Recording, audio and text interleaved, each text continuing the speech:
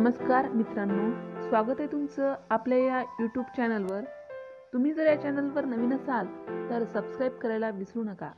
आज आपण बघणार आहोत वर्ग अकरावा विषय मराठी. त्यामध्ये भाग पाचवा व्याकरण संबंधित आहे. तर आपल्याला व्याकरणामधील आपलं तिसरं चालू आहे वाक्य संश्लेषण. तिसरा पाठ आहे वाक्य संश्लेषण म्हणजे वाक्यांचे विविध प्रकार. तर आपण त्यामध्ये दिलेलं संपूर्ण व्याकरण आणि स्वाध्याय संबंधित काही प्रश्न दिले आहेत ते आपण सविस्तररित्या या व्हिडिओमध्ये अभ्यासणार आहोत. वाक्य संश्लेषणमध्ये पहिले आहे केवल वाक्य. तर केवल वाक्य म्हणजे काय? खालील वाक्य लक्षपूर्वक अभ्यासून त्यातील उद्देश व विधेय शोधा. खाली काही वाक्य दिले आहेत ते आपल्याला लक्षपूर्वक अभ्यासायचे आहेत वाचायचे आहे आणि त्या वाक्यामधला उद्देश व विधेय शोधायचं आहे. त्यामध्ये पहिलं वाक्य आहे मामा घड्याळ आणले का? मामा घड्याळ आणले का?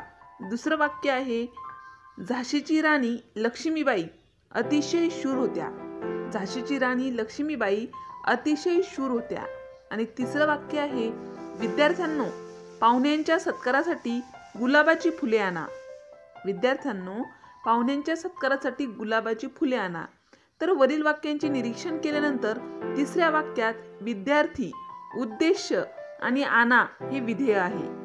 विद्यार्थी हे काय? उद्देश आहे आणि आना ही विधेय आहे. हे लक्षात येते इतर शब्द उद्देश विस्तार किंवा विधेय विस्तार आहेत पण प्रत्येक वाक्यात एकच उद्देश आणि एकच विधेय असल्यामुळे अशा वाक्यांना केवल वाक्य म्हणतात. आता केवल वाक्याची वैशिष्ट्ये बघा. केवल वाक्याची वैशिष्ट्ये. एकच उद्देश व एकच विधेय असते. एकच उद्देश व एकच विधेय असते. या वाक्यात कमीत कमी शब्द असतात. केवल वाक्यामध्ये कमीत कमी शब्द असतात. केवळ वाक्य विधानार्थी आज्ञार्थी प्रश्नार्थी होकारार्थी व नकारार्थी असू शकतात. केवल वाक्य तयार करताना कोणतेही उभयान्वी अव्यय वापरले जात नाही. केवल वाक्य तयार करताना कोणतेही उभयान्वी अव्यय वापरले जात नाही. ही आहेत केवल वाक्याची वैशिष्ट्ये. वाक्याचा दुसरा प्रकार आहे मिश्र वाक्य. तर खालील वाक्य वाचा व निरीक्षण करा. यामध्ये सुद्धा काही वाक्य दिले आहेत. ते वाक्य आपल्याला वाचायचे आहे व्यवस्थित निरीक्षण करायचे आहे तपासायचे आहे. गुरुजी म्हणाले की प्रत्येकाने नियमित अभ्यास करावा. गुरुजी म्हणाले की प्रत्येकाने नियमित अभ्यास करावा. दुसरं वाक्य आहे आकाशात जेव्हा काळे ढग जमतात तेव्हा पाऊस पडतो. आकाशात जेव्हा काळे ढग जमतात तेव्हा पाऊस पडतो. तिसरं वाक्य आहे जे चकाकते ते सोने नसते. जे चकाकते ते सोने नसते. वरील तीन वाक्यातील तिसऱ्या वाक्यात ते सोने नसते या स्वतंत्र वाक्यावर जे चकाकते हे वाक्य अवलंबून आहे. म्हणून हे वाक्य स्वतंत्र असते. त्याला मुख्य किंवा प्रधान वाक्य असे म्हणतात व अवलंबून असणाऱ्या वाक्याला गौण वाक्य म्हणतात. दुसऱ्या वाक्यात पाऊस पडतो हे प्रधान वाक्य असून आकाशात काळे ढग जमतात हे गौण वाक्य आहे. ही वाक्य जेव्हा जेव्हा एका गौणत्व सूचक उभयान्वी अव्ययाने जोडलेली असतात. मिश्र वाक्यामध्ये जी वाक्य असतात ती काय असतात? गौणत्व सूचक उभयान्वी अव्ययाने जोडलेली असतात. आता मिश्र वाक्याची वैशिष्ट्ये आहेत. मिश्र वाक्याची वैशिष्ट्ये पुढील प्रमाणे एक प्रधान वाक्य व एक किंवा अनेक गौण वाक्य. एक प्रधान वाक्य व एक किंवा अनेक गौण वाक्य हे मिश्र वाक्याचं महत्त्वपूर्ण वैशिष्ट्य आहे. दुसरं वैशिष्ट्य आहे दोन्ही वाक्ये गौणत्व सूचक उभयान्वी अवयांनी जोडलेली असतात.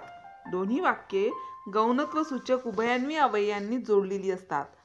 तिसरं वैशिष्ट्य आहे जोडलेली वाक्य ही अर्थाच्या दृष्टीने स्वतंत्र नसतात.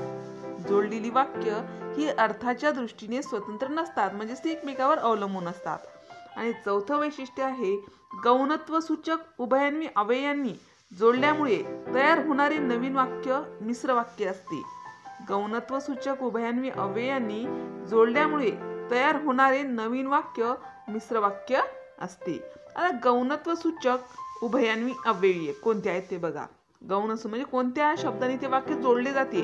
त्याला गौणत्व सूचक उभयान्वी अव्यय म्हणतात. तर ते शब्द कोणते आहेत? म्हणजे की म्हणून जे कारण का यास्तव सबब जर जरी जेव्हा तेव्हा इत्यादी. हे काय आहेत? गौणत्व सूचक उभयान्वी अव्ययाची शब्द आहेत. हे आपण मिश्र वाक्य एकमेकांना जोडताना ही शब्द आपल्याला पाहायला मिळतात. आता वाक्याचा तिसरा प्रकार आहे संयुक्त वाक्य. काय आहे? संयुक्त वाक्य. पुढील वाक्य अभ्यासा. यामध्ये सुद्धा काही वाक्य दिली आहेत ते आपल्याला व्यवस्थित अभ्यासायचे आहेत. त्यामध्ये पहिले वाक्य आहे मी पहाटे लवकर उठते व एक तास अभ्यास करते. मी पहाटे लवकर उठते व एक तास अभ्यास करते. दुसरं वाक्य आहे संध्याकाळी मी फिरायला जातो किंवा खेळायला जातो. संध्याकाळी मी फिरायला जातो किंवा खेळायला जातो. तिसरं वाक्य आहे आजी नोकरीतून निवृत्त झाली म्हणून तिला सवड मिळाली. आजी नोकरीतून निवृत्त झाली म्हणून तिला सवड मिळाली. वरील वाक्यात दोन किंवा आधी वाक्य आहेत आणि ती एकमेकांना अनुक्रमे व किंवा म्हणून या प्रधानत्व सूचक उभयांनी अवयांनी जोडलेली आहेत. व किंवा म्हणून या प्रधानत्व सूचक उभयान्वी अव्ययांनी जोडलेली जी वाक्य असतात तिला संयुक्त वाक्य असे म्हणतात. हा संयुक्त वाक्याची वैशिष्ट्ये बघा. ते पुढील प्रमाणे दोन किंवा अधिक केवळ वाक्य असतात. दोन किंवा अधिक केवळ वाक्य असतात. ही वाक्ये प्रधानत्व सूचक उभयान्वी अव्ययांनी एकमेकांना जोडलेली असतात. ही वाक्य प्रधानत्व सूचक उभयान्वी अव्ययांनी एकमेकांना जोडलेली असतात. जोडलेली वाक्य ही अर्थाच्या दृष्टीने स्वतंत्र असतात. ही वाक्य जोडलेली असतात परंतु त्याचा अर्थाच्या दृष्टीने काय असतात? स्वतंत्र असतात. एकमेकांना प्रधानत्व सूचक उभयान्वी अव्ययांनी जोडून तयार होणारे जोडवाक्य संयुक्त वाक्य असते. एकमेकांना प्रधानत्व सूचक उभयान्वी अव्ययांनी जोडून तयार होणारे जोडवाक्य संयुक्त वाक्य असते. प्रधानत्व सूचक उभयान्वी अव्यय प्रधानत्व सूचक उभयान्वी अव्यय म्हणजे ते शब्द कोणकोणती आहेत? ते नेमकं ते वाक्य कोणत्या शब्दाने जोडलं आहे? ते शब्द बघा. आणि नी व शिवाय अथवा वा की किंवा पण परंतु परी बाकी म्हणून सबब यास्तव याकरिता इत्यादी. हे काय आहेत? संयुक्त वाक्य जोडण्याचे प्रधानत्व सूचक उभयान्वी अव्यय आहेत. आता मिश्र वाक्य व संयुक्त वाक्यातील फरक लक्षात घ्या. मिश्र वाक्य व संयुक्त वाक्यातील फरक लक्षात घ्या. तर मिश्र वाक्य. मिश्र वाक्यामध्ये पहिलं आहे एकच प्रधान वाक्य असते बाकीची गौण वाक्य असतात. एकच प्रधान वाक्य असते बाकीचे गौण वाक्य असतात. संयुक्त वाक्यामध्ये पहिलं आहे दोन किंवा त्यापेक्षा अधिक प्रधान वाक्य असतात. दोन किंवा त्यापेक्षा अधिक प्रधान वाक्य असतात. आता मिश्र वाक्यामध्ये दुसरं आहे गौणत्व सूचक उभयान्वी अव्ययांनी जोडलेली असतात. गौणत्व सूचक उभयान्वी अव्ययांनी जोडलेली असतात. हे काय? मिश्र वाक्य. संयुक्त वाक्यामध्ये दुसरं आहे प्रधानत्व सूचक उभयान्वी अव्ययांनी जोडलेली असतात.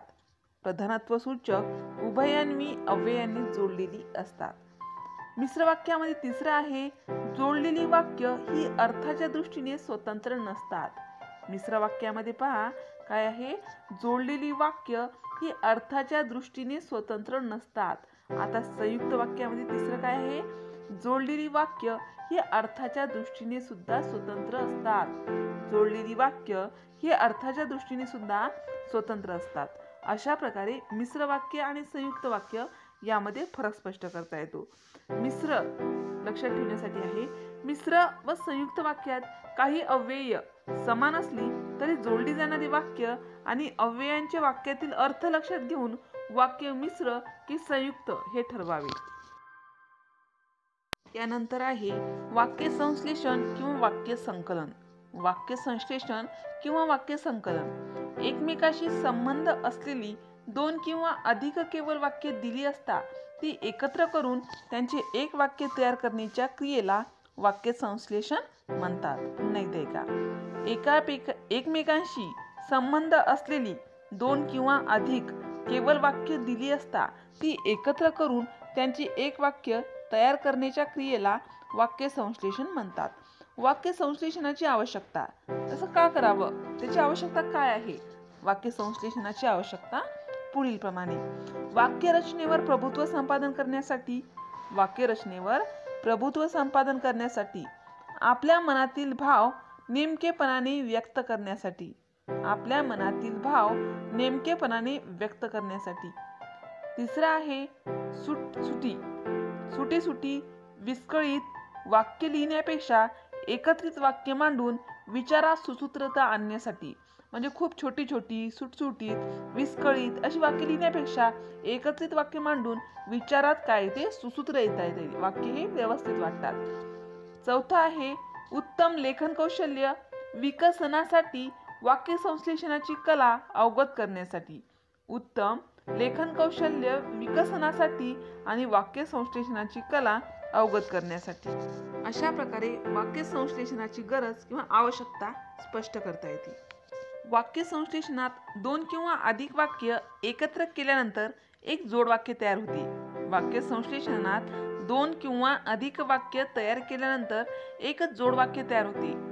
वाक्यसंश्लेषण तीन प्रकारचे असते. वाक्यसंश्लेषण हे तीन प्रकारचे असते. तर वाक्यसंश्लेषणाचे प्रकार बघा. दोन किंवा अनेक केवळ वाक्यांचे एक केवळ वाक्य बनवणे. दोन किंवा अनेक केवळ वाक्यांचे एक केवळ वाक्य बनवणे. दोन किंवा अनेक केवळ वाक्यांचे एक मिश्र वाक्य बनवणे. दोन किंवा अनेक केवळ वाक्यांचे एक मिश्र वाक्य बनवणे. तिसरा आहे दोन किंवा अनेक केवळ वाक्यांचे एक संयुक्त वाक्य बनवणे. दोन किंवा अनेक केवळ वाक्यांचे एक संयुक्त वाक्य बनवणे. यामध्ये लक्षात ठेवण्यासारखं एक गोष्ट आहे ती म्हणजे केवळ मिश्र व संयुक्त वाक्यांचे परस्पर रूपांतर करता येते. केवळ मिश्र व संयुक्त वाक्याचे परस्पर रूपांतर करता येते. केवल वाक्य तयार करणे. केवल वाक्य कसे तयार करायची किंवा तयार करणे बघा काय असते?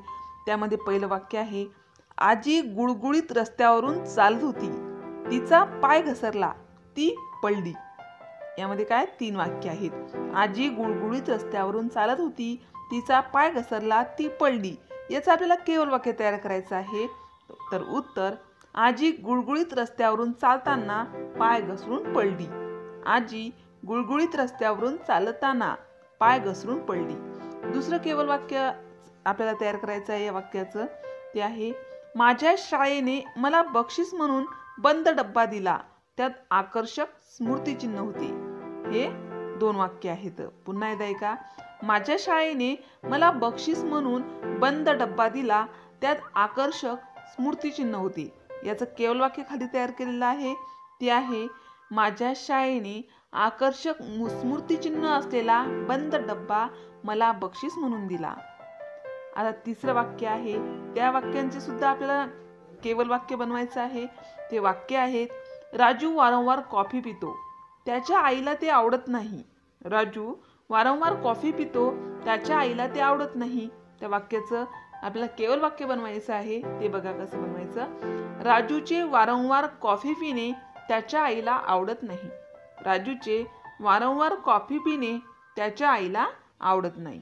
आता चौथं वाक्य आहे रवींद्रनाथ टागोर हे थोर कवी होते. रवींद्रनाथ टागोर यांनी गीतांजली हे काव्य लिहिले. या वाक्याचं आपल्याला केवळ वाक्य बनवायचं आहे. ते कसं? तर थोर कवी रवींद्रनाथ टागोर यांनी गीतांजली हे काव्य लिहिले.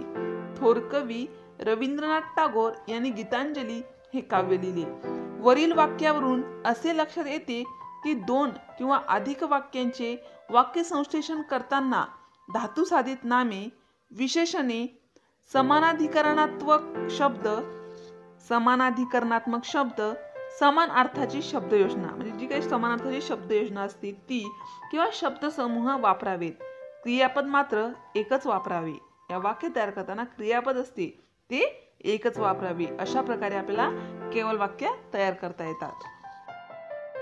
आता आपण बघूया मिश्र वाक्य तयार करणे. मिश्र वाक्य कसे तयार करायचे आहेत? काही वाक्य दिलेले आहेत त्या वाक्यांचे आपण मिश्र वाक्य तयार करूयात.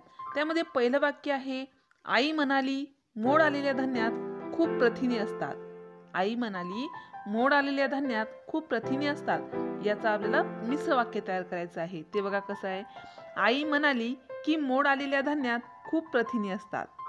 आता यामध्ये आपण काय जोडलंय? की. की हा शब्द जोडलेला आहे.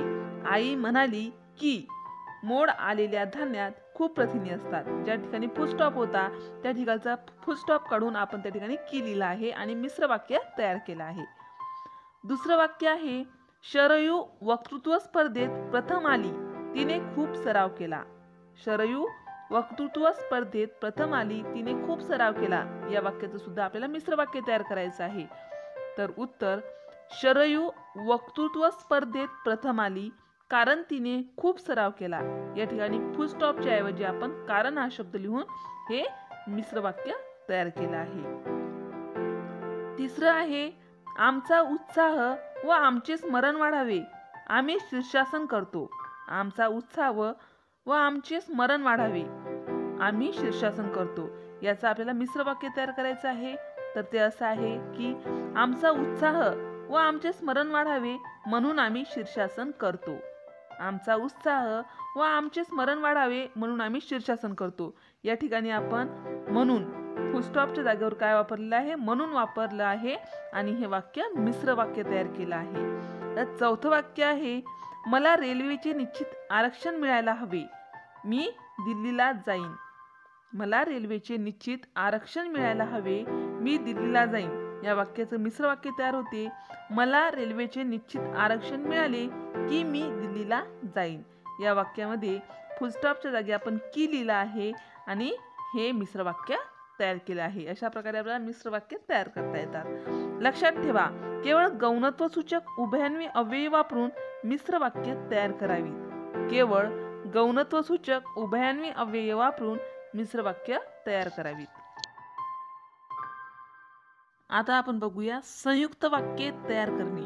संयुक्त वाक्य कशी तयार करायची आहेत? काही वाक्य दिली आहेत त्या वाक्याचे आपण संयुक्त वाक्य तयार करूयात. तर पहिला आहे नाटकाची तिसरी घंटा वाजली नाटकाला सुरुवात झाली. नाटकाची तिसरी घंटा वाजली. नाटकाला सुरुवात झाली. या वाक्याचं संयुक्त वाक्य तयार करता येते.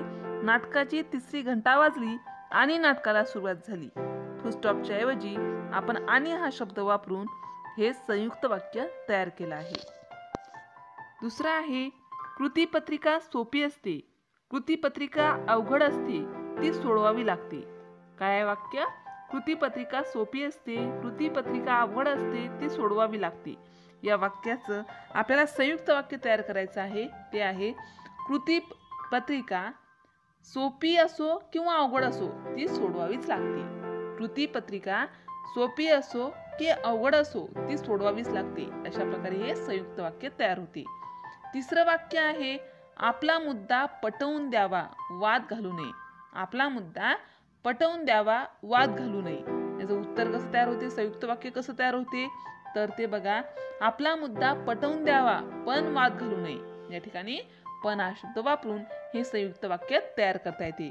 आपला मुद्दा पटवून द्यावा पण वाद घालू नये. आज चौथं वाक्य आहे वाटेत धो धो पाऊस लागला. वाटेत धो धो पाऊस लागला मला यायला उशीर झाला. वाटेत धो धो पाऊस लागला मला यायला उशीर झाला. या वाक्याचं संयुक्त वाक्य तयार करता येते. ते असं वाटेत धो धो पाऊस लागला म्हणून यायला उशीर लागला.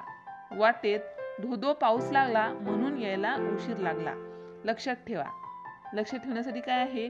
तर ते आहे संयुक्त वाक्य तयार करताना प्रधानत्व सूचक व काही गौणत्व सूचक अशी दोन्ही प्रकारची उभयान्वी अव्यय वापरलेली जातात. वापरली जातात.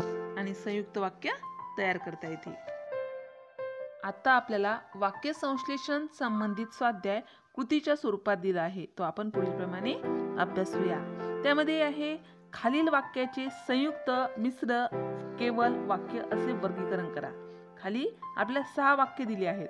तर त्या वाक्यांचे आपल्याला संयुक्त मिश्र व केवळ वाक्य असे वर्गीकरण करायचे आहे. त्यामध्ये पहिलं वाक्य आहे मी माणसे मोजून पाहिली पण ती आठच भरली. मी माणसे मोजून पाहिली पण ती आठच भरली. हे मिश्र वाक्याचं उद उदाहरण आहे. हे मिश्र वाक्याचं उदाहरण आहे. दुसरं वाक्य आहे सोनाली चहा किंवा कॉफी घेते. सोनाली चहा किंवा कॉफी घेते हे संयुक्त वाक्य आहे. सोनाली चहा किंवा कॉफी घेते हे संयुक्त वाक्य आहे. तिसरं वाक्य आहे आम्ही मुंबईला पोचलो आणि खूप अडचणी निर्माण झाल्या. आम्ही मुंबईला पोचलो आणि खूप अडचणी निर्माण झाल्या. हे सुद्धा संयुक्त वाक्याचंच उदाहरण आहे. चौथं वाक्य आहे पाऊस पडला तर शेतकरी वर्ग आनंदी होईल. पाऊस पडला तर शेतकरी वर्ग आनंदी होईल. हे मिश्र वाक्य आहे. हे कोणतं वाक्य आहे? मिश्र वाक्य. पाचवं वाक्य आहे मुले बागेत खेळली ती खूप दमली. मुले बागेत खेळली ती खूप दमली. हे केवल वाक्य आहे. काय आहे? केवल वाक्य तर सहावं वाक्य आहे. सर म्हणाले की प्रामाणिक प्रयत्नांनी यश मिळते. सर म्हणाले की प्रामाणिक प्रयत्नांनी यश मिळते. हे मिश्र वाक्य आहे. हे मिश्र वाक्य आहे. अशा प्रकारे आपण दिलेल्या वाक्यांचे संयुक्त वाक्य मिश्र वाक्य आणि केवळ वाक्य यामध्ये वर्गीकरण केले आहे. यामध्ये दुसरा प्रश्न आहे सूचनेनुसार वाक्य संश्लेषण करा. सूचनेनुसार वाक्य संश्लेषण करा. यामध्ये आपल्याला वाक्य दिले आहे त्यासमोर त्या सूचना दिली आहे की त्या वाक्याचं कशामध्ये रूपांतर करायचं आहे ते आपल्याला करायचं आहे. त्यामध्ये पहिलं वाक्य आहे तो उत्तीर्ण झाला सर्वांना आनंद झाला. तो उत्तीर्ण झाला सर्वांना आनंद झाला. त्याचं आपल्याला केवळ वाक्य तयार करायचं आहे. तर उत्तर तो उत्तीर्ण झाल्यामुळे सर्वांना आनंद झाला. तो उत्तीर्ण झाल्यामुळे सर्वांना आनंद झाला. दुसरं वाक्य आहे श्याम घरी आला वादळाला सुरुवात झाली. श्याम घरी आला वादळाला सुरुवात झाली या वाक्याचं आपल्याला मिश्र वाक्य तयार करायचं आहे. जेव्हा श्याम घरी आला तेव्हा वादळाला सुरुवात झाली. हे काय तयार होते? मिश्र वाक्य तयार होते. उत्तर आहे जेव्हा श्याम घरी आला तेव्हा वादळाला सुरुवात झाली. तिसरं वाक्य आहे आम्हाला शिकवायला नवीन शिक्षक आले. आमच्या अडचणी दूर झाल्या. संयुक्त वाक्य करा. हे जे वाक्य दिलं आहे त्याचं आपल्याला संयुक्त वाक्य तयार करायचं आहे.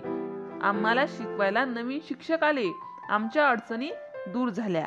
तर उत्तर उत्तर म्हणजे संयुक्त वाक्य बघा. आम्हाला शिकवायला नवीन शिक्षक आले म्हणून आमच्या अडचणी दूर झाल्या. आम्हाला शिकवायला नवीन शिक्षक आले म्हणून आमच्या अडचणी दूर झाल्या. चौथं वाक्य आहे. माझे वडील म्हणाले मला तुझे यश बघून तुझा अभिमान वाटला. माझे वडील म्हणाले मला तुझे यश बघून तुझा अभिमान वाटला. त्याला मिश्र वाक्य तयार करता येते. किंवा मिश्र वाक्य आपल्याला तयार करायचं आहे ते पुढील प्रमाणे. उत्तर माझे वडील म्हणाले की तुझे यश बघून मला तुझा अभिमान वाटला. माझे वडील म्हणाले की तुझे यश बघून मला तुझा अभिमान वाटला. पाचवं वाक्य आहे हे आधुनिक लोकशाहीचे युग आहे. जाहिरातीला महत्त्व आहे. समाजाने जाहिरातीचे योग्य अर्थ समजून घ्यावा. वाक्य पुन्हा एकदा ऐका. हे आधुनिक लोकशाहीचे युग आहे. जाहिरातीला महत्त्व आहे. समाजाने जाहिरातीचा योग्य अर्थ समजून घ्यावा. या वाक्याचं आपल्याला केवळ वाक्य तयार करायचं आहे. काय करायचं आहे? केवळ वाक्य तयार करायचं आहे.